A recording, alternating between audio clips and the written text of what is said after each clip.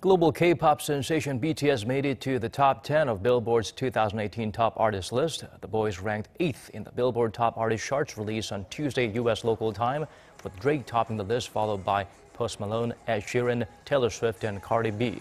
Three BTS albums also made it into the year-end Billboard 200 albums list.